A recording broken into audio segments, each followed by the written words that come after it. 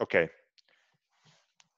Allora, scusate, riprendo dall'inizio, avevo dimenticato di avviare la registrazione della, della lezione eh, e quindi ehm, l'ho ehm, avviata adesso, quindi la, la, regola sarà in, questi, in questo tipo di, di, di incontri eh, verranno registrati e poi il video eh, ve lo distribuirò in qualche momento. Adesso dobbiamo ancora capire se eh, distribuirlo eh, su YouTube come le altre lezioni oppure sul portale in modo un pochino più eh, riservato, ecco, perché visto che poi in queste chat c'è anche poi eh, i vostri interventi, la vostra voce, eh, eccetera, ehm, non, forse non mi sembra del tutto corretto pubblicarlo su YouTube come invece facciamo sugli altri, con i miei video essenzialmente con le lezioni. Quindi probabilmente le condividerò sul portale della didattica, però queste sono cose che stiamo eh, come, come, potete immaginare stiamo giorno per giorno, se non ora per ora, cercando di, di trovare la combinazione migliore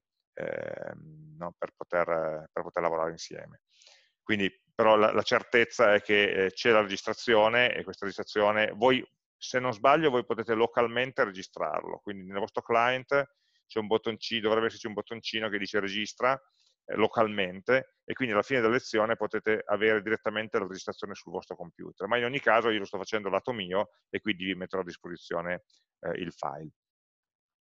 Ehm, dopodiché, dicevo, eh, io eh, ragionamento che ho provato a fare è di capire un po' come riusciamo a, eh, organizzare eh, questo corso. Allora abbiamo, abbiamo provato a, ehm, a rimappare no, quelli che erano gli, gli argomenti e la tempistica eh, degli scorsi anni, eh, per fortuna questo corso è, credo sia il sesto anno che viene, che viene svolto, quindi abbiamo abbastanza, eh, diciamo così, un buon polso su quelli che sono i tempi necessari per i vari argomenti. Eh, sul, sul, sul, sul, sito degli anni scorsi vedete che avevamo un calendario, ehm, diciamo così, ora per ora no, di quello che, eh, che veniva fatto.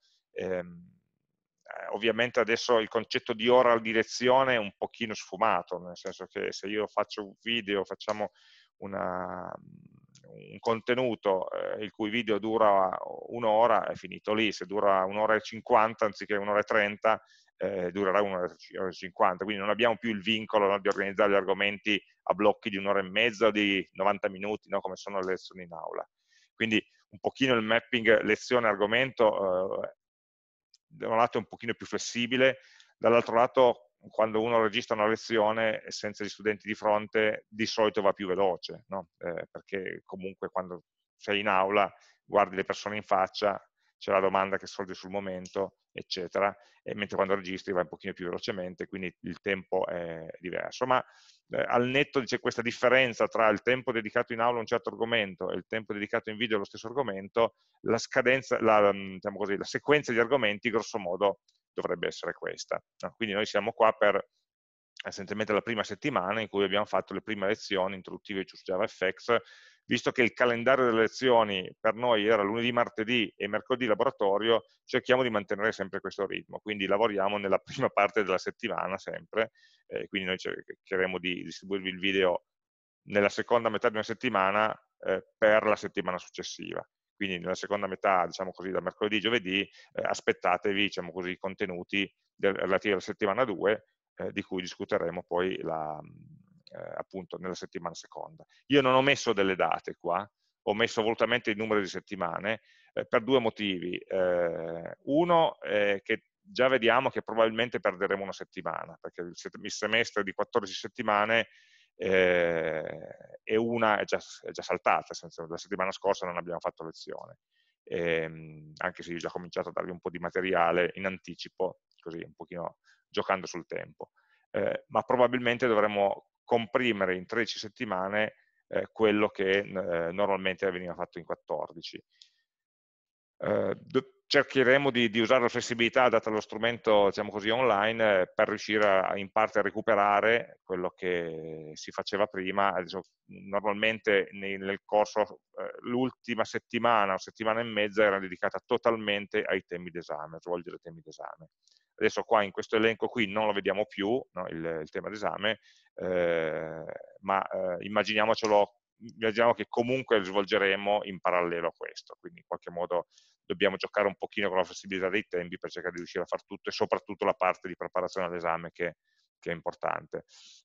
Eh, per il momento ovviamente stiamo tutti pensando che l'esame a giugno sarà ancora nella forma tradizionale, quindi esame in laboratorio, che tutta questa eh, complicazione delle video lezioni prima o poi finirà. Ecco. Prima o poi finirà di sicuro, ma che finisca prima del, del, del, degli appelli d'esame. Altrimenti ci inventeremo qualcosa, come abbiamo sempre fatto, no? cioè il mestiere dell'ingegnere è quello di trovare soluzioni ai problemi. E se i problemi non fossero nuovi ogni volta non sarebbe neanche divertente, quindi in qualche modo eh, faremo. Ecco. Um, ok, quindi noi avremo una prima parte eh, diciamo così, di conoscenza di JavaFX e di impostazione di progetti un pochino più complessi con JavaFX. Eh, tra l'altro, domanda, se io sto muovendo il mouse qua, voi lo vedete il mio mouse? Posso usare il mouse per indicare delle parti di lucido? Sì? Ok, grazie mille. Perché altrimenti rischiavo di fare dei gesti inconsulti da solo e nessuno li vedeva. Ok. Adesso non so se ci sia un modo più... però eh, aspetta, sì, con PowerPoint puoi anche fare così, è bellissimo. Ok, eh, va bene. Ehm, allora dicevo, le prime settimane eh, approfondiremo la programmazione in JavaFX, abbiamo visto proprio la parte minima ora e eh, però ciò che vediamo, eh, ciò che abbiamo visto finora ci permette di fare solo esercizietti molto molto semplici come quello di questa settimana, eh, da dalla prossima settimana, quindi dalla prossima lezione, affronteremo un modo di articolare i progetti in modo un pochino più ordinato eh, per poter sopportare, diciamo così, dei progetti più complessi. Quindi questo MVC sta per Model View Controller, che è il pattern di programmazione che utilizzeremo. Um, un, due, tre settimane non sono troppe, eh, ma in realtà non sono lezioni, non sono spiegazioni, ecco, molto del tempo cercheremo, cercheremo di dedicarlo proprio agli esercizi. No? Quando facevamo il corso in aula dedicavamo parecchie ore a svolgere esercizi in aula e qui anche qui vogliamo continuare a fare la stessa cosa. Ehm, e quindi eh, ovviamente le prime lezioni sono un pochino più teoriche perché dobbiamo avere poi i concetti, ma poi molto del tempo eh, sarà dedicato proprio a svolgere, una volta dicevo svolgere esercizi insieme in aula, adesso non, questo non sarà, non sarà, possibile, troveremo eh, la modalità di farlo, eh, quindi ecco su questo magari eh, vi, vi, vi, farò una domanda quando finisco un po' questa introduzione, così apro un po' la discussione, però cominciate a pensarci. Eh, noi abbiamo tre, tre tipologie no, di, di, di, argomenti, di lezioni. Uno è, se vogliamo, la lezione teorica, ti spiego qualcosa. L'altra è facciamo un esercizio, svolgiamo un esercizio insieme e quindi eh, io ho sempre aperto Eclipse e fatto esercizi direttamente in aula, poi di solito come sempre quando vai a programmare sbagli qualcosa, correggi, ma non importa, nel senso che è importante anche vedere sia come uno ragiona che come uno costruisce un programma, ma anche come uno corregge poi i problemi, cioè nel senso che gli errori li facciamo tutti eh, ed è giusto saperli correggere. E quindi la parte di coding, diciamo così, insieme, e poi c'è la parte di laboratorio vero e proprio. Eh, allora, noi abbiamo questi due strumenti, cioè la lezione registrata, diciamo quella che vedete su YouTube, e la video chat come stiamo facendo adesso. Quindi mh, cominciate a pensarci, poi dopo quando apriamo la discussione mi, mi dite cosa ne pensate, ehm, che cosa preferite. Mh. Preferite avere i video e guardarveli co comodamente, anche video nei quali magari noi sviluppiamo esercizi, oppure preferite che per la parte di esercizi lo facciamo in video chat, anche se ovviamente è un pochino più scomodo, ma, eh, ma magari permette un'interazione migliore, oppure anche le lezioni preferite farle in video chat e quindi di fatto ci allineiamo all'orario del corso, ecco, per me è abbastanza differente, nel senso che comunque gli argomenti sono gli stessi, le lezioni che dobbiamo fare sono le stesse, eh, bisogna anche un po' capire eh, cosa preferite. Ecco, questa domanda ve la faccio adesso, dopo che abbiamo provato, o stiamo provando le due modalità diverse. Quindi questo era per dire, questo discorso era per dire, eh, sembra che gli argomenti vengano tirati alla lunga, in realtà sono argomenti relativamente brevi, ma per essere digeriti richiedono una certa serie di esercizi sicuramente. Ecco, poi c'è quest'altra cosa, non prendetela sotto piede, qui ho scritto ripasso barra integrazione collections, io so che ogni anno questa cosa qua eh, viene vista un pochino eh, storcendo il naso, dicendo eh, ma eh, Fabrizio Lamberti ci ha appena eh, fatto un corso intero in cui ci ha raccontato tutto Java, le collection, le liste, cose di questo genere, ehm, perché dobbiamo passare due settimane a ripassare? Beh, in realtà è più integrazione che non ripasso, ma come vedrete come come diciamo così, tema comune del corso, eh, noi non andiamo a raccontare la programmazione, il linguaggio di programmazione, ma più che altro come si usano le cose. Cioè voi avete già visto tante cose nel corso di programmazione oggetti, l'ereditarietà, le classi, i metodi, eccetera, eh, però la domanda che forse non, ovviamente in un primo corso di programmazione oggetti non si arriva a fare è che cosa me ne faccio di tutto ciò? Cioè in che contesto lo uso? Quando è che devo usare l'ereditarietà? Ma perché non posso fare tutte classi statiche e non ci penso più? Ecco, a, a queste domande cerchiamo di, di, rispondere ponendoci non dal punto di vista di impariamo il linguaggio, ma dal punto di vista di risolviamo un problema. Quindi prenderemo un esercizio e poi in questo esercizio troveremo le tecniche, ehm, le tecniche su, eh, diciamo così, di, che, che, andranno a utilizzare i costrutti del linguaggio che conosciamo che siano più adatti. No? Infatti parleremo non tanto di linguaggio ma di pattern di programmazione. Quindi andiamo a riprendere cose che in parte sapete già, in, mentre in parte non ancora, eh, e rivederle un pochino in quest'ottica. Eh, beh, poi entriamo nel vivo del corso essenzialmente dove abbiamo eh, la settimana che ho identificato come etichettata come settimana 4 eh, è quella su accesso al database. Come vi dicevo nell'introduzione del corso eh, non facciamo esercizi con dei dati finti facciamo esercizi con dei dati diciamo di grande dimensione quindi useremo eh, del database impareremo eh, a collegare il nostro programma Java con il database relazionale. Quindi in qualche modo stiamo facendo da ponte tra ciò che avete appreso nel corso di programmazione oggetti e eh, il corso di base di dati. Mm? Non è particolarmente complesso, però ci permette sicuramente di affrontare i problemi con dei dati veri. Eh, e questo, diciamo, le prime quattro settimane sono la base. Eh, poi abbiamo i due grossi blocchi, eh, la ricorsione, i grafi tre grossi blocchi, scusate, e le simulazioni. Eh, la ricorsione è un argomento eh, sia teorico che pratico abbastanza, diciamo così, complesso, è, la, se vogliamo, l'unico argomento difficile di tutto il corso, difficile nel senso che proprio mentalmente, cognitivamente non è, eh, non è troppo intuitivo e quindi bisogna entrare un po' nel modo di ragionare. Quindi ci dedicheremo indicativamente tre settimane, due e mezzo, adesso qui ovviamente non ho messo tutti i dettagli di cosa pensiamo di fare, ma eh, a, diciamo così, a, peso sono circa tre settimane, eh, di, di, esercizi, mh? Mm? perché la ricorsione la spiego in mezz'ora, poi ci mettiamo tre settimane a capirla, no? facendo esercizi di difficoltà via via crescente. Questo è, se vogliamo, preparatevi pure, in quel giorno lì prendete tanto caffè eh, per essere vispi, ehm, è, è l'argomento, diciamo così, un pochino lo, lo scoglio di questo corso. Dopodiché su questo andiamo a costruire il resto. Eh, ad esempio, tutta la parte sui, sui grafi, ehm, questo sono approfondimenti sui database, non richiedono una settimana intera, li inseriremo qua e là, ma è la prosecuzione del punto 4. Eh, poi c'è l'argomento sui grafi, i grafi avete già visto a, a, che cosa sono, eh, da un certo punto di vista eh, più matematico, diciamo, più teorico nel corso di ehm, eh, ricerca operativa. Eh, noi riprendiamo queste cose, quindi andiamo a reintrodurli rapidamente, ma non vi non sto a spiegare tutto, ma soprattutto vedremo come gestirli, come gestire i grafi da, eh, da un programma Java. Eh, e eh, come applicando la filosofia del corso non andiamo a costruire un grafo usando i singoli oggetti Java, eccetera, ma useremo una libreria che si chiama JGraphT eh, che contiene già praticamente tutti i metodi che ci servono per poter lavorare su un grafo. Quindi impareremo a usare una libreria che gestisce il grafo e non direttamente a costruirci il grafo a basso livello, diciamo così. E quindi se dobbiamo trovare, dico una per esempio, un cammino minimo tra due vertici, non devo andare a implementarmi io l'algoritmo, me lo trovo già nella libreria. È chiaro che poi devo sapere quale algoritmo mi serve, capire quale complessità abbia, eh, e capire come, come richiamarlo, come usare quello che è fornito dalla libreria, quindi questo ovviamente devo capire, ma non necessariamente devo implementare eh, eh, tutti i dettagli.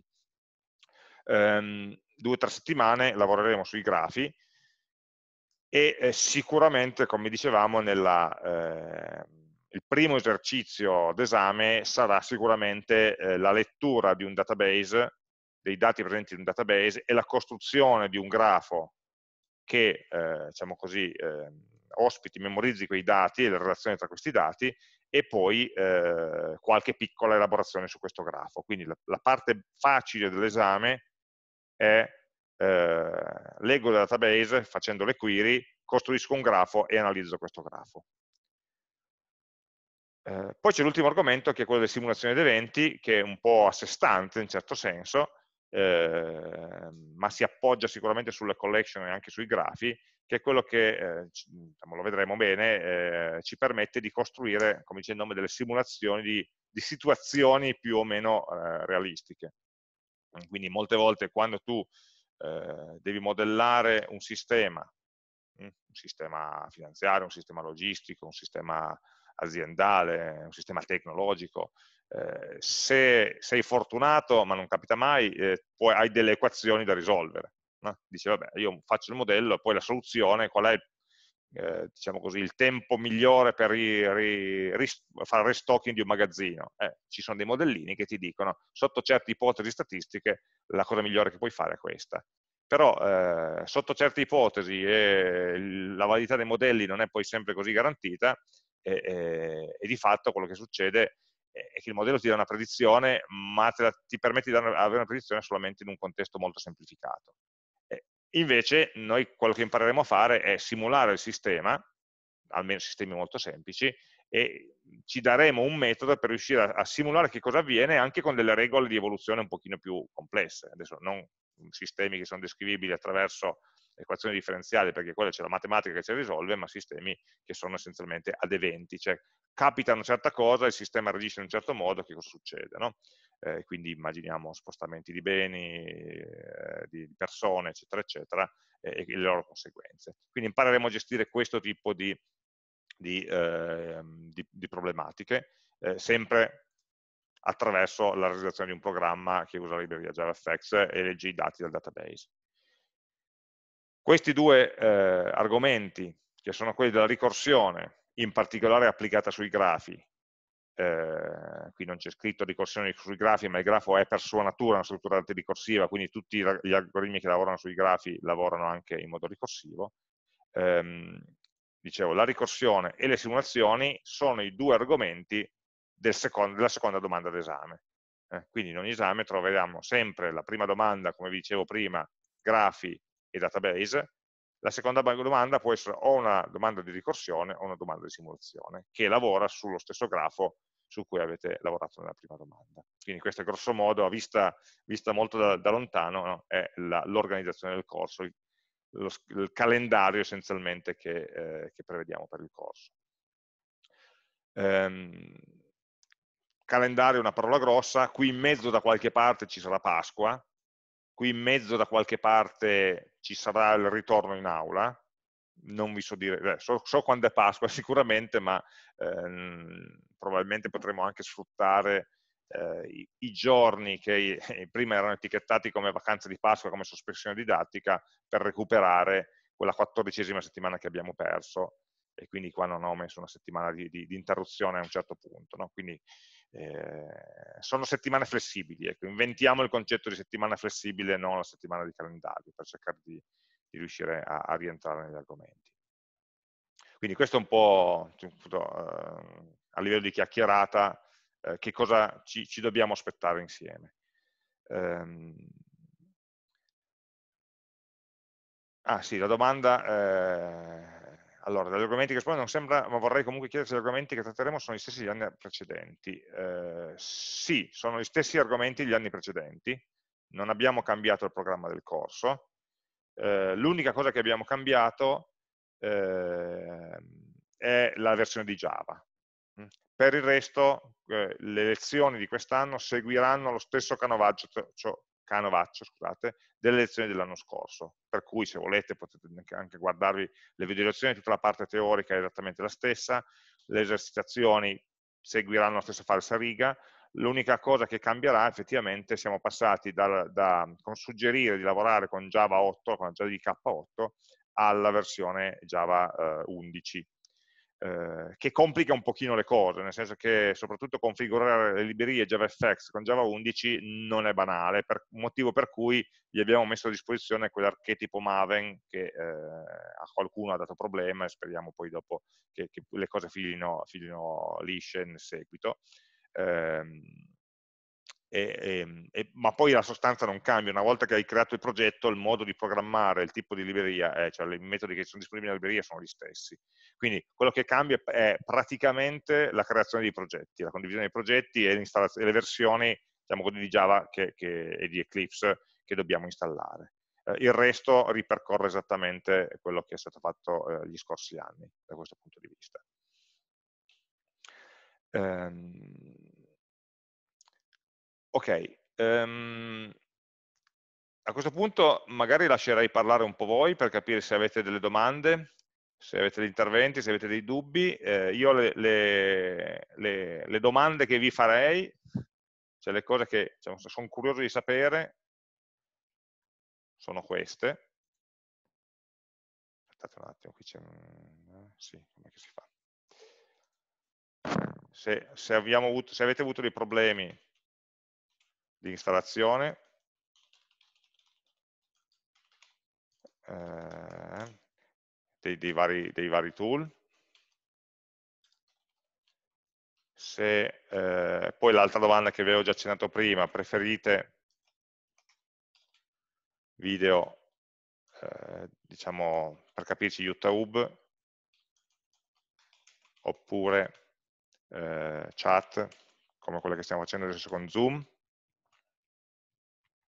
Eh, e poi qualunque altra domanda,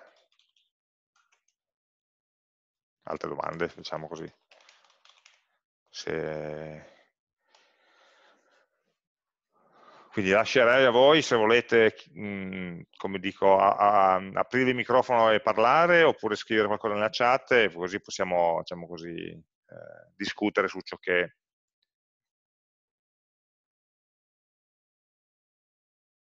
Allora, progetto...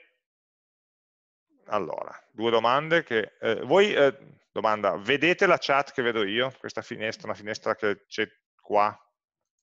Sì, benissimo, quindi riuscite anche a leggere, a parte che la, le vedete nella chat, ma la vedete anche condiviso da me. Ok, ok.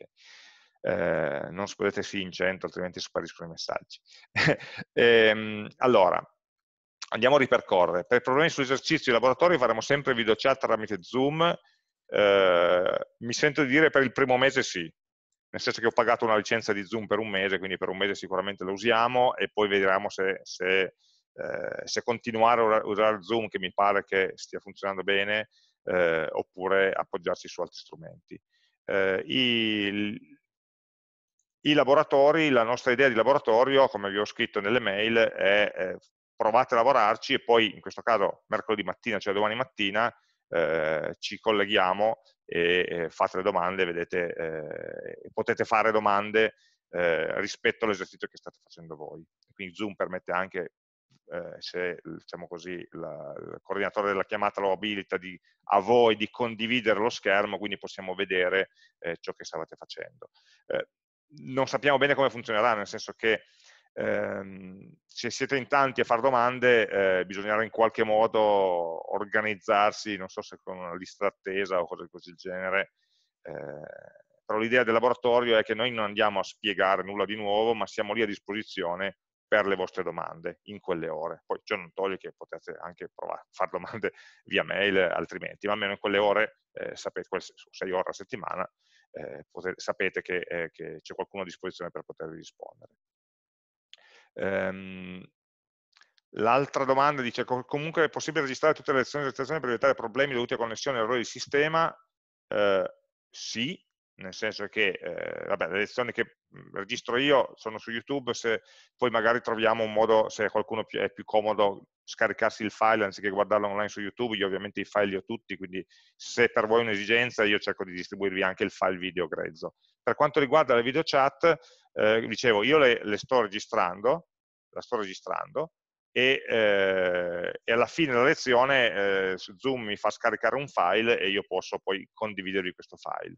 Eh, per quanto riguarda invece eh, voi, mi, mi, pare che lato vostro su Zoom potete anche fare registro in locale e quindi alla fine della lezione potete avere già direttamente, immediatamente il file della video chat di oggi eh, sul vostro computer. Eh, quindi l'idea è comunque, l'obiettivo è comunque di avere tutto registrato, tutto il corso, sia le parti, diciamo così, video, sia le parti di chat. Non c'è progetti lavorativi andranno consegnati con una scadenza? No. i laboratori, non, non, vi chiediamo di consegnare nulla, ok? Eh, l'esame è all'esame e basta. Eh, durante i laboratori eh, lavorate voi, voi voi stessi e il vostro computer eh, e, e, provate a risolvere gli esercizi che sono proposti.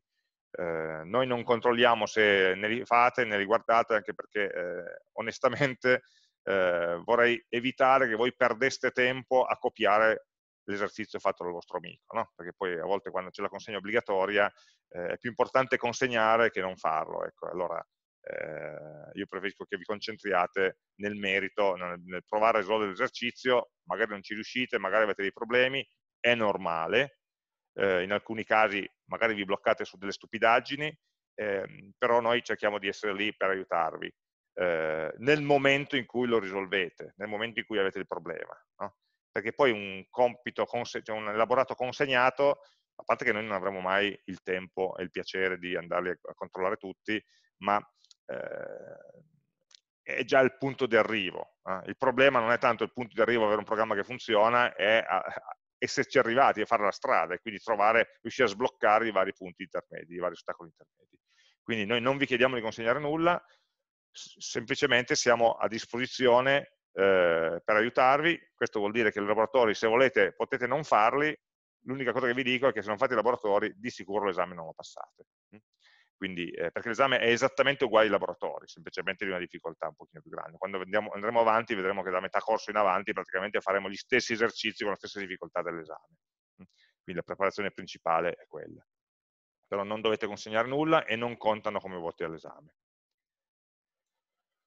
Molti di noi hanno riscontrato problemi con l'importazione del laboratorio 1 in Eclipse, sì, eh, chiedo scusa perché è un problema nostro, eh, è stato pubblicato per un certo periodo, per un, per un certo numero di ore, una versione del, del, del, laboratorio che era compatibile con Java 8 e non con Java 11 e quindi non, eh, sulla configurazione che vi abbiamo fatto installare di Eclipse non funzionava. Adesso abbiamo risolto la cosa, eh, grazie di avercelo segnalato, eh, speriamo che non capiti più, in base come dicevo prima, tutti sbagliano ovviamente, e, ehm, e quindi adesso eh, dovreste poter reimportare il progetto con la versione che c'è attualmente online del laboratorio 1 e dovrebbe funzionare. Io l'ho provato subito prima di collegarmi per sicurezza. Ovviamente se avete già fatto un fork precedentemente, clonato il progetto, dovete cancellare il progetto nel vostro repository GitHub, rifare nuovamente fork e, e, e, e potreste lavorare col progetto nuovo. Ehm, allora, Tommy dice ha dei problemi su FX Clips per il programma 32 bit. Allora, il problema di FX Clips è che eh, il tool che sviluppa quel, FX Clips, tanto per dirlo, eh, eh, era un, un, plugin di Eclipse che serviva ehm, prima di Java 11 eh, e prima diciamo, di tutto il pasticcio che abbiamo fatto con Maven per la creazione dei progetti, eh, era un tool che aiutava essenzialmente a creare progetti JavaFX impostando le librerie in modo corretto, essenzialmente lo usavamo per quello. Ehm, il problema di FXClips, lo avevamo già visto gli anni scorsi, che il team di sviluppo è molto piccolo, cioè è un'azienducola molto piccola, eh, e quindi non, non, riesce a mantenere aggiornato il plugin su tutte le versioni possibili di Eclipse. Quindi tipicamente FXClips c'è sull'ultima versione di Eclipse, ma se lo cerchi per le versioni precedenti non c'è più perché non lo supportano più. Quindi questo è un pochino il problema di non riuscire a... Ehm, se uno non riesce a installare le versioni che abbiamo consigliato, è possibile che ci siano degli strumenti che magari appunto due anni fa funzionavano, ma adesso non sono più supportati perché quel team di sviluppo si sta concentrando su Java 11 non più su Java 8. Quindi questo è il motivo per cui non l'hai trovato sul marketplace, eh, quindi bisogna trovare il modo di creare eh, eh, i programmi direttamente in Java e aggiungere le librerie a mano. Questo al limite appunto lo, lo vediamo come individualmente perché è un problema molto specifico. Ehm, Oscar dice, ho domande su GitHub, non ho ben capito come si fa a portare il codice nella versione precedente una volta che sono stati fatti i commit, sia a livello di repository sia a livello di working copy. Quindi tu dici, io ho ehm, fatto dei commit, sono andato avanti col progetto e poi vorrei tornare indietro perché mi sono accorto diciamo, che qualcosa non andava e così via. Allora questo qui si fa, eh, vediamo se è un progetto che abbia una storia di più di un commit, vediamo un po' allora andiamo nel team eh, mostra le history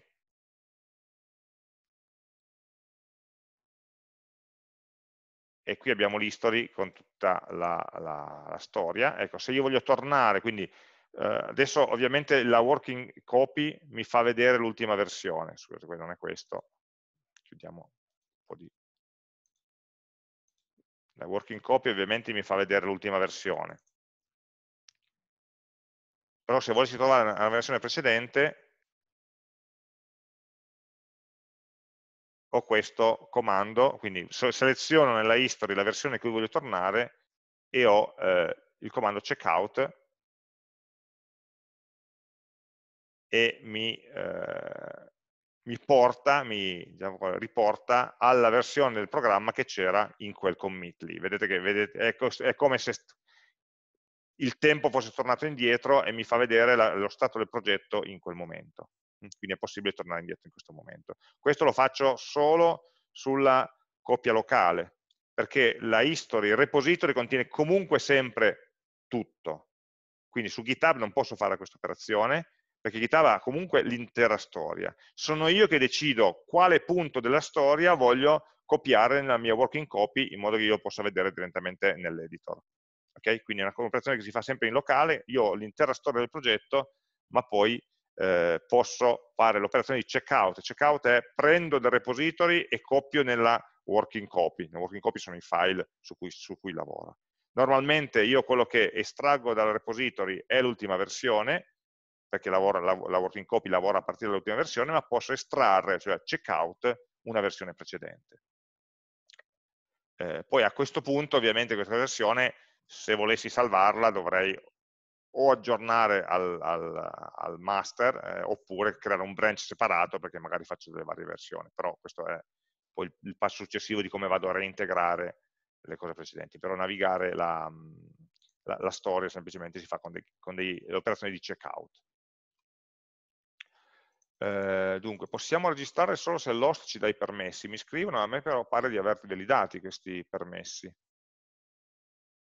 Eh, quindi beh, la prossima volta controllo bene, però mi pare di avere, adesso questo qua non lo vedo perché è nelle, nelle impostazioni del, della registrazione, quindi la prossima volta verifico meglio, però a me pare di avervi dato il permesso di registrare, quindi dovreste poterlo fare, se no beh, meglio, eh, controllo meglio. Mm? Ok, eh, poi rettifico con l'esecuzione che scrive Tobia, non so cosa voglia dire, eh, forse è relativo a una cosa vecchia, non so. Eh, Vito mi dice, a mio parere sarebbe efficiente fare lezioni su YouTube come fatto finora, impostare un'ora settimanale qui su Zoom per chiarire i nostri dubbi e rispondere alle varie domande riguardanti le lezioni della settimana. E vedo che c'è un certo accordo eh, che c'è un certo accordo su questa modalità, quindi mh, mm, adesso poi vediamo gli altri messaggi, poi ci ritorniamo. Eh, questo messaggio dice che a. Maritati dice che c'è un messaggio dopo aver lanciato il main. Questo sembra un'incompatibilità tra il driver della scheda grafica e la versione di JavaFX attuale, quindi la prima cosa da verificare è di aggiornare, come dice il messaggio, aggiornare il driver della scheda grafica perché ovviamente JavaFX, essendo una libreria grafica, userà diciamo così, le, il, la libreria grafica messa a disposizione del sistema operativo e può darsi che su alcune versioni più vecchie ci fossero delle incompatibilità. Quindi eh, tu mi chiedi se è un problema, non so se sia un problema, nel senso che magari è un, un bug o un'incompatibilità che vale solamente per le cose più, eh, che ne so, animazioni, videogame, eccetera, quindi cose più spinte dal punto di vista grafico e per il tipo di programmi che facciamo noi magari non impatta, oppure magari sì. Ecco, è un warning, quindi il programma dovrebbe andare avanti lo stesso, eh, probabilmente il tipo di programmi che facciamo noi non risente particolarmente delle, dei dettagli della scheda grafica, della prestazione più avanzata della scheda grafica, però converrebbe sempre aggiornare. Eh, si possono utilizzare anche i commenti su YouTube per piccoli dubbi che si possono risolvere tra noi studenti, eh, assolutamente sì, nel senso che anche i commenti su YouTube io li leggo, eh, io sono uno, o meglio, noi siamo tre come docenti del corso, però eh, cerchiamo sempre di rispondere, quindi se la domanda la fate su YouTube, se la domanda la fate su, eh, via mail o via chat, ovviamente noi cerchiamo nel limite delle 24 ore che abbiamo a disposizione, come tutti voi, cerchiamo di rispondere. Quindi eh, se vi rispondete tra di voi è ottimo. No? Eh, in ogni caso, quando voi scrivete un commento su YouTube, l'autore del video, quindi io o Alberto per il video che ha fatto lui, riceviamo una notifica e quindi sappiamo che andiamo a vedere il commento e quindi cerchiamo di darvi, soprattutto se è una risposta puntuale, semplice, riusciamo facilmente eh, a rispondere.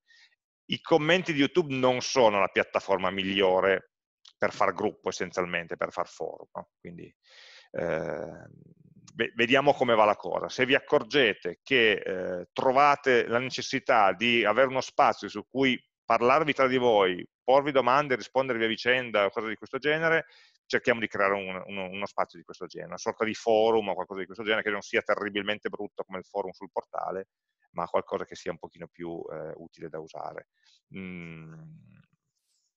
Quindi vediamo, se, appunto, se, vi manca questo eh, spazio, in, e, che, e che lo capisco, perché in aula o in laboratorio ti allunghi il naso, tu come l'hai fatto, e vi parlate e vi risolvete il problema tra, tra di voi, che è la cosa migliore.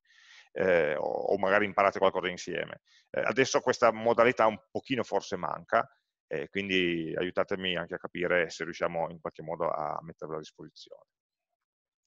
Eh, andiamo avanti. Eh, Federico mi dice, sono secondo anno di magistrale di ingegneria matematica, in triennale ho seguito sia programmazione oggetti che basi di dati, c'è qualcos'altro che dovrei recuperare? No, Ehm, sono i due prerequisiti di questo corso, sono la programmazione in Java e basi di dati.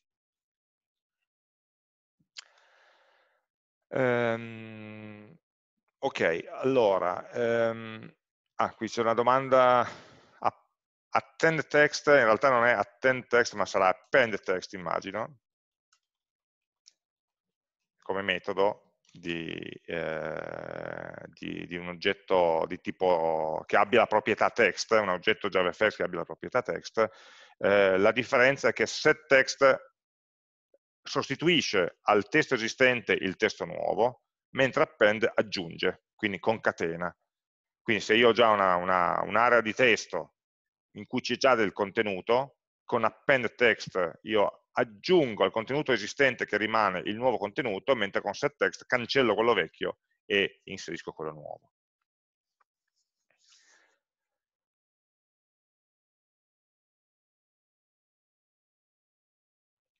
E sulla domanda di FXLips non ti so rispondere al volo perché bisogna provarlo sul, sul tuo computer essenzialmente, avendo una configurazione particolare. Eh, quindi magari alla fine della, della lezione se, puoi eh, se puoi rimanere collegato un attimo mi sembra che io possa darti il controllo e quindi tu poter, possa condividere il tuo schermo e proviamo a vedere insieme eh, come funziona. Quindi è una cosa da risolvere individualmente questa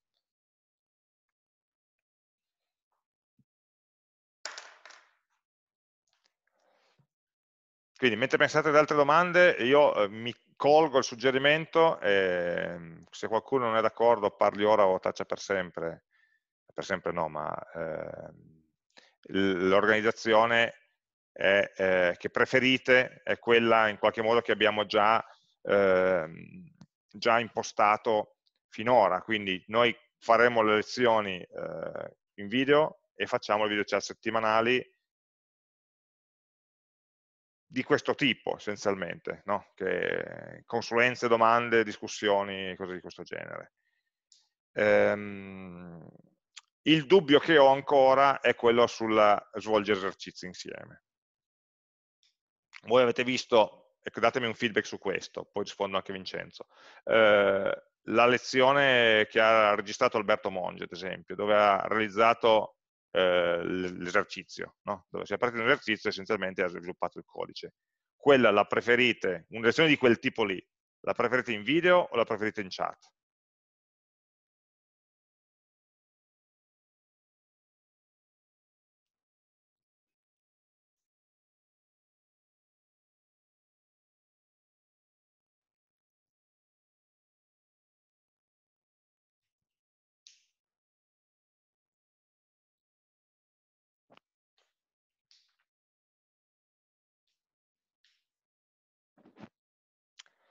Eh, c'è un po' di c'è un 70% video, qui non si possono fare dei sondaggi su questa cosa qua, magari sì, magari lo scopriamo con dei plugin.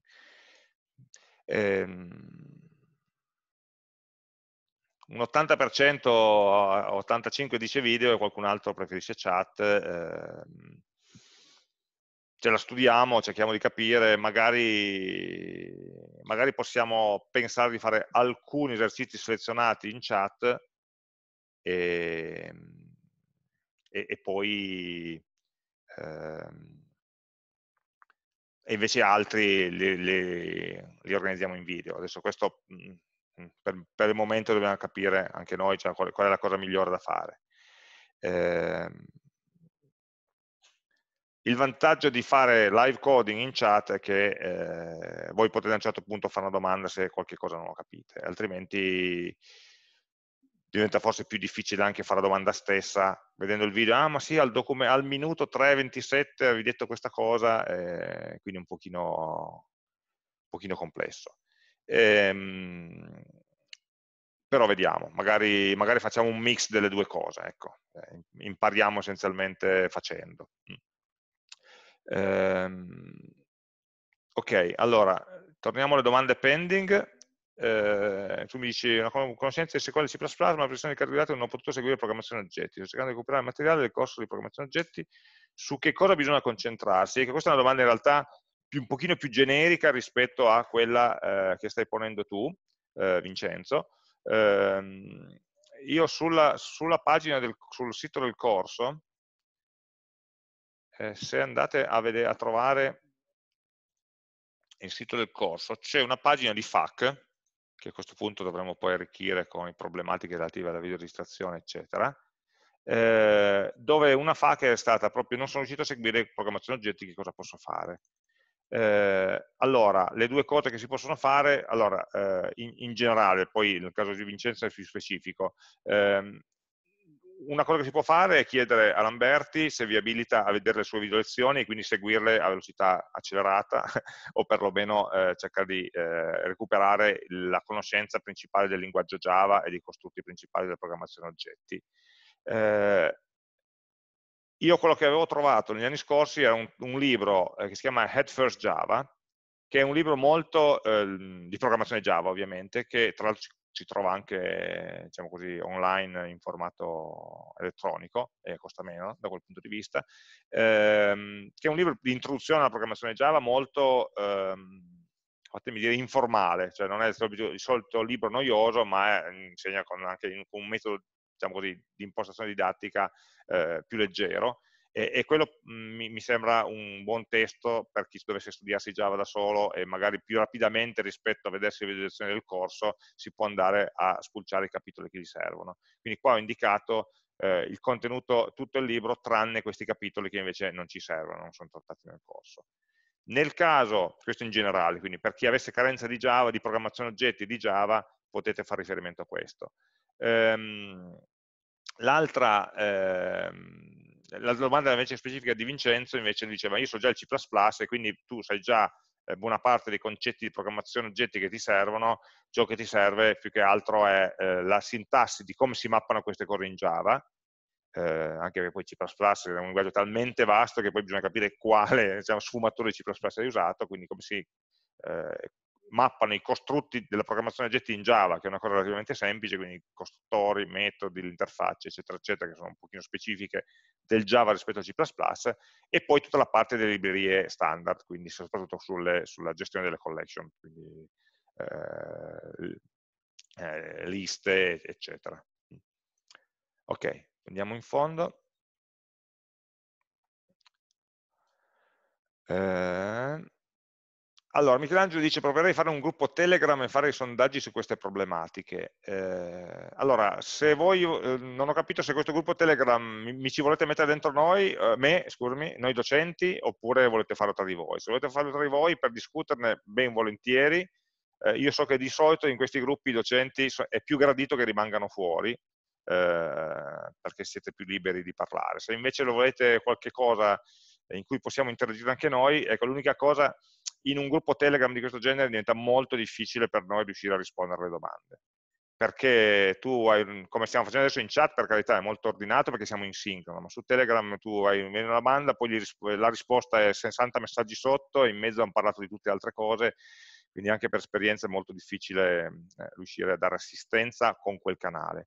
Se invece volete fare un gruppo per lavorare tra di voi, eh, benissimo, nel senso che eh, siete liberi di farlo chiaramente, e poi se da lì emergono delle indicazioni, dei suggerimenti o delle richieste per, per il corso, benissimo, me lo fate poi sapere.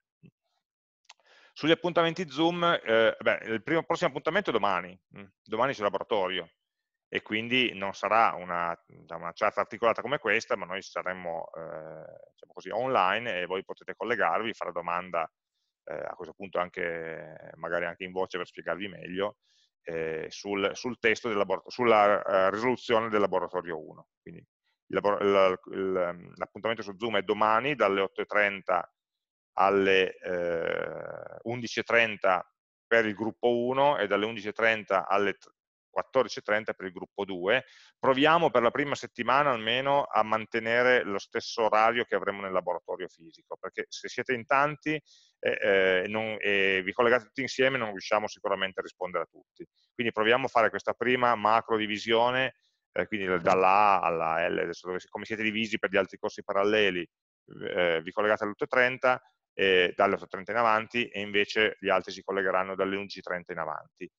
Ehm, poi vediamo come va questa cosa, se ha senso fare degli slot più piccoli magari, in cui magari mh, dividiamo, oppure lasciare una cosa più aperta e mh, questa è la prima volta diciamo, nella vita che facciamo queste cose, quindi eh, cerchiamo di capire qual è il modo migliore di riuscire a, a venirvi incontro.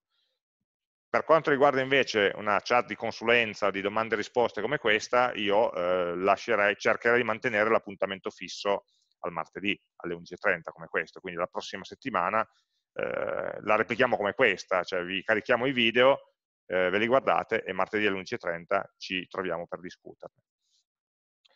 Ehm, poi, altra domanda, eh, Enrico Ciuffreda nella prima esercitazione ha usato il metodo get selected text potrebbe spiegare un metodo per trovare più facilmente questi metodi già inseriti in Java che sia un sito o qualche funzione. Allora, eh, a parte che Select Test non era necessaria per, per, per la prima esercitazione perché quello ti dice qual è il testo che l'utente ha selezionato in quel momento. Ok? Quindi io ho... Eh, fammi prendere una casella di testo.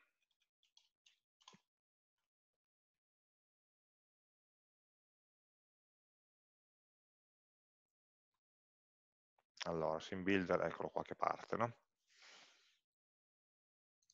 Quindi mettiamo una text area, ad esempio, per capirci, solo per avere un preview, eh, no, è chiaro che non posso, eh, ok.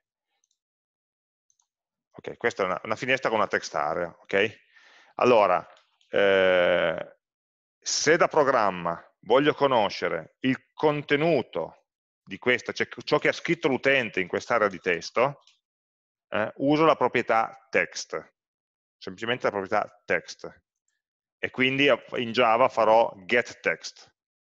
Quindi farò il nome dell'oggetto che, che, contiene la text area, appunto getText, lo scrivo qua. Quindi sarà eh, txtarea.getText. In questo caso mi dà no, eh, il contenuto testuale. Se, se faccio set text, set text, lo cambio, se faccio get text lo leggo. Invece il get selected text che è indicato eh, mi darebbe qual è il testo che è stato evidenziato, selezionato dall'utente, che non è detto che sia tutto, non è detto che sia una parte, non sappiamo che cosa ha fatto l'utente. Quindi in questo caso eh, non è il metodo che ci serviva, perché noi vogliamo avere l'intero testo scritto dall'utente, non solamente la porzione di testo che l'utente ha, ha selezionato. Tutti questi metodi sono tutti nella documentazione di, di JavaFX. Se io torno su, eh, ad esempio, su eh, lo sim builder, le proprietà, vedete che qua, eh, ogni volta che nello sim builder sulla destra no, vedete eh, eh, una casellina, questa casellina corrisponde a una proprietà dell'oggetto. Quindi, qui c'è scritto text, vuol dire che c'è una proprietà, c'è un metodo getText e un metodo setText per leggerlo e scriverlo. eh, e così via. Eh, dove trovo le, uh, le, informazioni? Se voi cliccate semplicemente sull'icona text, vi porta direttamente alla documentazione, alla documentazione del metodo. Dove sono tutti questi metodi? Sono qua, nel senso che questo metodo qua, adesso siamo andati a documentazione, ma è la documentazione della pagina di eh, test control input che contiene tutte queste proprietà. Adesso se noi andassimo a studiare tutte queste proprietà sarebbero centinaia e quindi rischiamo di perderci. Alla fine troviamo quali, so, quali, quali sempre quelle più, ehm, più eh, utili. Eh, ah, ho capito la presentazione che fate su dove serviva il get selected test, non avevo colto, ecco, guarda caso qua eh, selected test è una delle proprietà. Mm?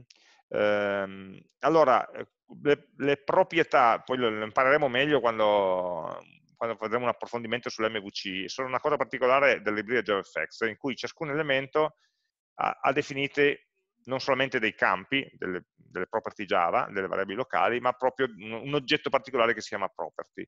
E in tutti gli oggetti JavaFX, c'è questo, nella documentazione c'è questo schemino no, che ci riassume tutte le property è, è, la cosa più importante perché ci dà un pochino la carta d'identità di ciò che può fare quell'oggetto e di ciò che io posso fare su quell'oggetto. E, e, così come vedete, ad esempio c'è la proprietà text, che dicevamo prima, e c'è la proprietà selected text, che definisce, lo spiega qua, i caratteri nel text input control, che in questo caso potrebbe essere un text area o un text field, che sono state selezionate dall'utente. Quindi l'insieme di tutte le proprietà che ci servono sono eh, all'interno del Javadoc. Ovviamente non è così facile da leggere perché alcune proprietà sono definite qua, alcune proprietà sono ereditate dai, eh, dagli oggetti principali e se volete Node si porta dietro un centinaio di proprietà diverse che sono replicate su tutti i nodi. Per fortuna non dobbiamo conoscerle tutte, però per andare a ricercare essenzialmente questo è il, è il luogo in cui andare a ricercare, oppure in quell'altro sito che avevo fatto vedere in cui le stesse cose sono mh, viste in modo un pochino più grafico, quindi sono anche forse più facili da trovare. Ehm, ok, quindi in questo caso il bottone cancella andava a capire qual era il testo e poi a questo punto aveva una stringa da matchare con una stringa intera e poi modificavo le stringhe. Quindi in questo caso sì. Ehm,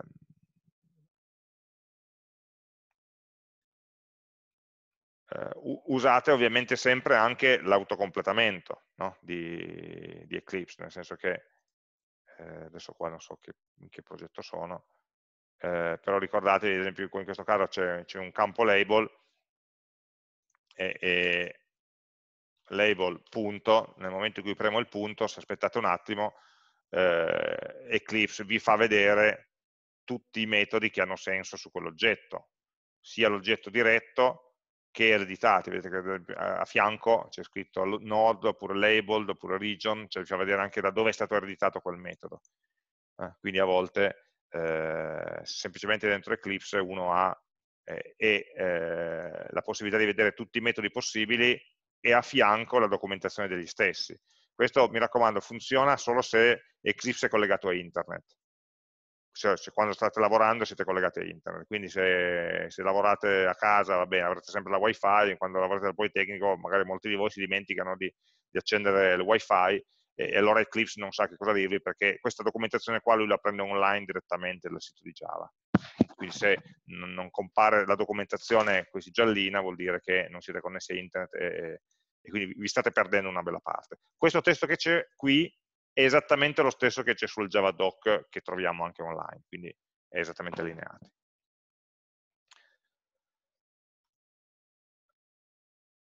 Ehm, dopodiché per i problemi, appunto le domande, i problemi specifici dell'esercizio del laboratorio 1, eh, ovviamente domani è, diciamo, è dedicato proprio a, a, risolvere e anche vedere poi nel, nel merito i problemi di ciascuno. Le, le ore del laboratorio sono più dedicate a quello.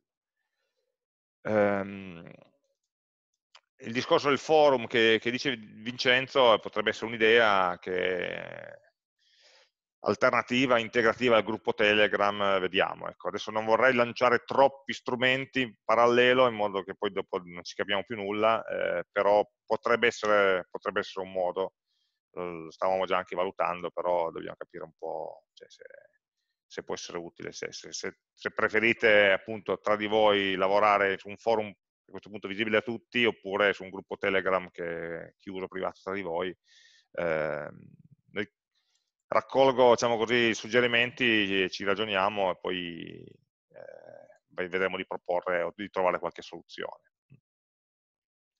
Eh, ecco, prendo esempio, adesso non, non, non prendertela di, di, di, di, Maria Laura, eh, del messaggio che ha scritto.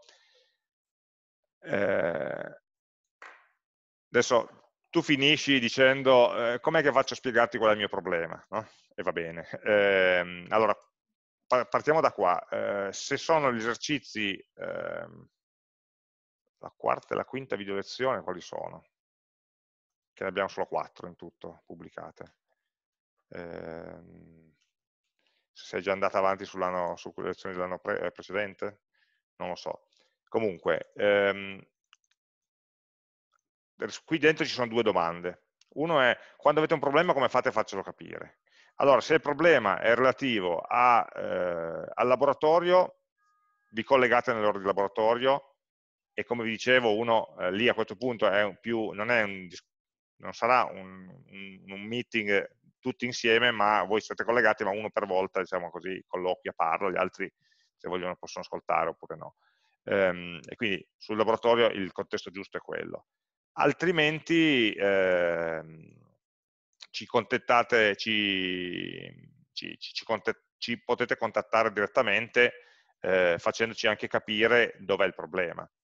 Eh, allora, il problema per noi, quindi anche via mail, ad esempio, no? in quel caso, eh, perché magari se è un problema specifico, puntuale, non ha senso in una, in una chat di gruppo no? Fare, eh, perdere magari 10 minuti per capire qual è il problema. Eh, allora, in questo caso, eh, ciò che vi chiedo eh, sempre di essere il più possibile precisi. Cioè, non, ho provato quella roba e non mi funziona, a me non dice niente, ok?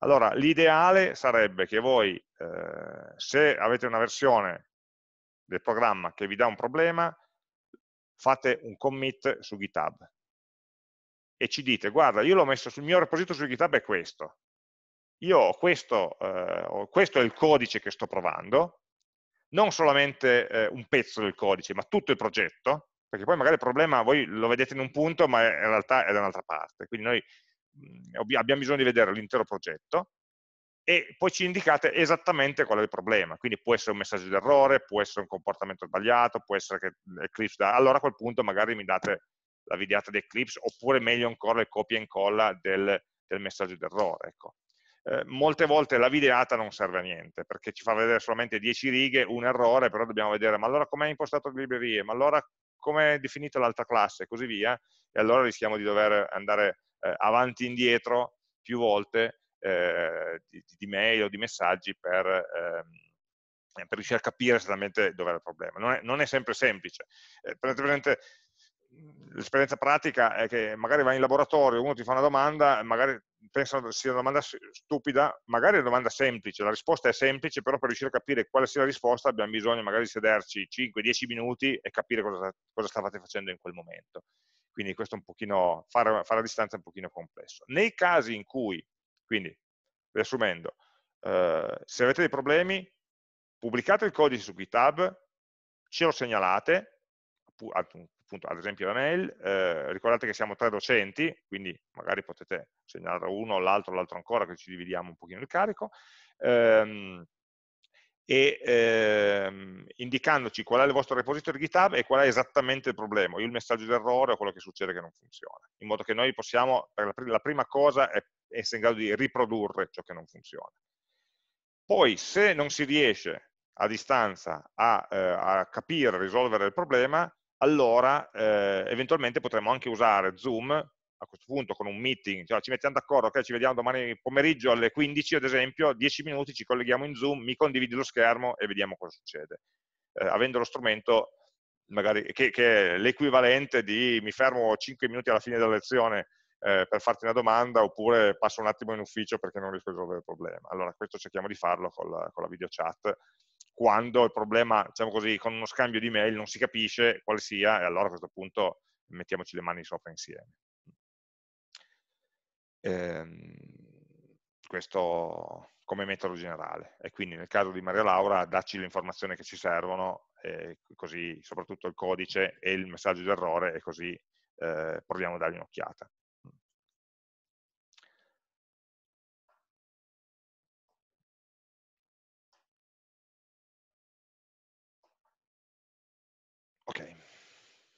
Altri spunti? Domande, richieste? Che noi abbiamo in sospeso, quindi cosa da pensare, da studiarci bene, è eh, uno, gli esercizi di live coding, eh, va bene farli in video, ma magari qualcuno lo facciamo in chat e così sperimentiamo, vediamo i vantaggi pro e contro. Sapendo che, ricordiamoci sempre, che le chat sono comunque registrate, ok? Quindi chi non può diciamo così, seguire in quel momento lo, lo può fare anche eh, a distanza.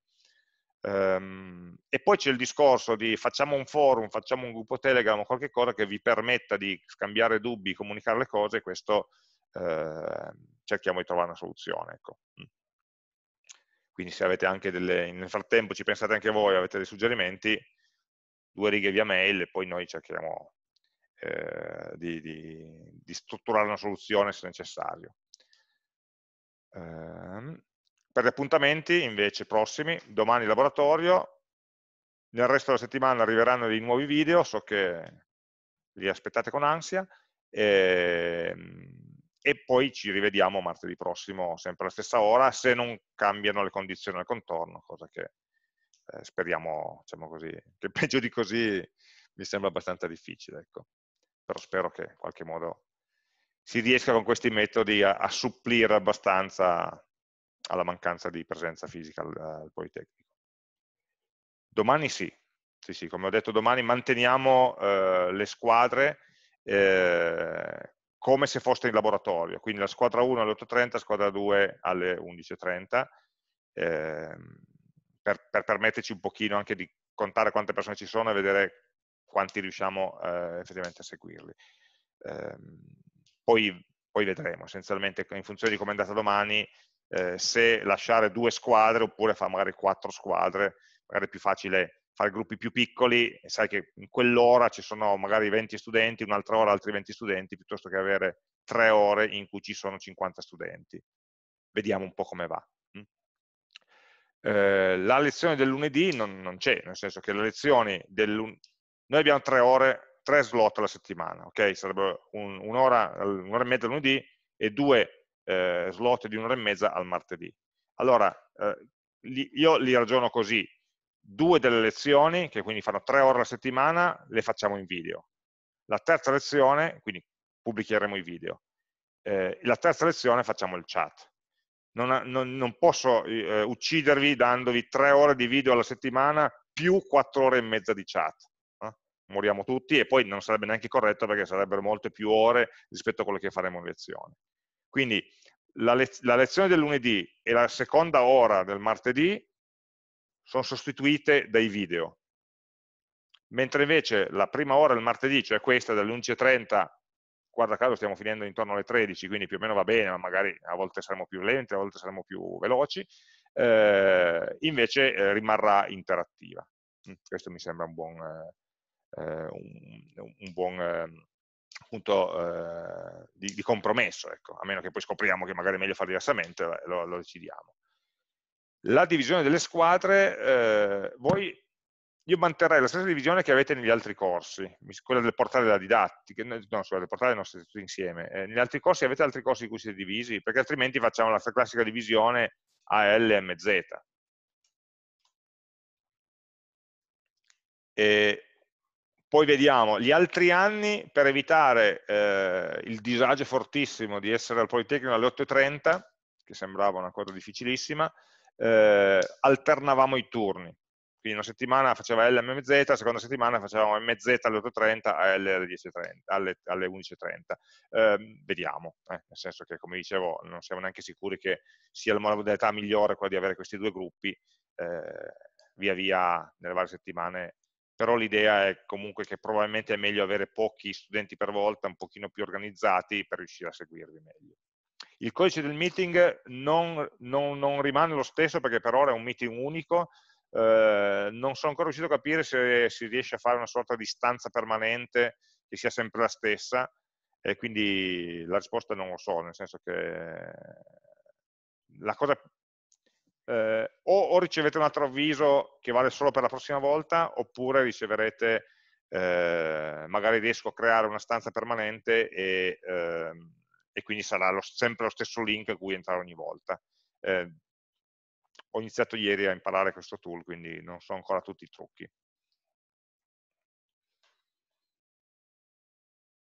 Quindi per ora diciamo, rimaniamo che eh, vedrete comparire i video, non mi sembra necessario avvisarvi con un avviso sul portale ogni volta che pubblico un video, Mm, per non fare spamming essenzialmente, quindi eh, se volete potete iscrivervi direttamente su YouTube eh, e vi, vi, dà lui la notifica essenzialmente. Ehm, il problema degli avvisi è che diventa impossibile vederli per la congestione sul portale nel cambio d'ora. Questa qua è una cosa che non avevo colto, eh, ma ehm, oggi l'ho ehm, messo all'ultimo momento l'avviso, questa mattina alle 10, eh, per le prossime volte lo, lo schedulo in anticipo. Okay? quindi visto che Zoom ha la possibilità già, lo potrò già, già fare forse già oggi o domani, la possibilità già di definire un calendario dei prossimi incontri. E lì mi dà già il codice e quindi io potrei pubblicare poi quel codice eh, giorni in anticipo, quindi a questo punto non è più un problema quello di, di, di riuscire a accedere al portale dall'ultimo momento essenzialmente. Ehm, cosa stavo dicendo? Non mi ricordo più, eh, sugli avvisi, vabbè, sul codice Ah, no, dicevo, eh, notificarvi quando arrivano i video, ehm, eh, notificarvi quando metterlo sul registro del sito del corso mi sembra una buona idea, si può fare sicuramente. Quindi metto magari il link prima e poi post, quando sarà disponibile la registrazione, al posto del link al, al, allo Zoom metterò il, la, il, link al video. Però vabbè, sono dettagli questi, grazie per i suggerimenti. Eh, appunto, la pubblicazione di nuovi video voi la, ve la vedete o se guardate la playlist su YouTube oppure eh, lo, diciamo, una volta che è online lo, lo, aggiungo anche sul sito del corso. Eh, appunto non, eh, non, mi sembra, a meno che non lo vogliate, non mi sembra il caso di mandarvi un avviso ogni volta, perché altrimenti poi quando arrivano troppi avvisi è come se non arrivasse nessuno. Ecco.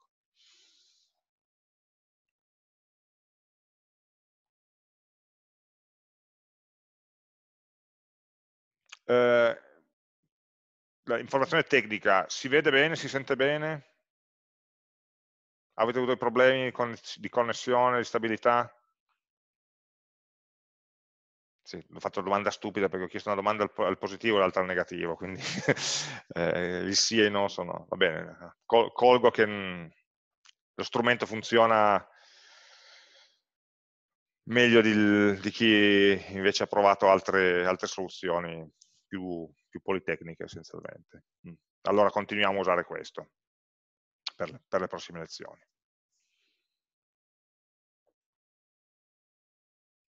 Ok. Se non c'è altro allora vi lascerei al, al pranzo.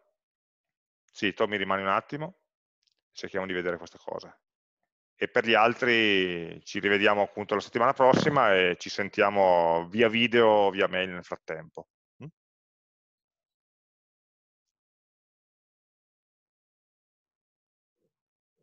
Arrivederci.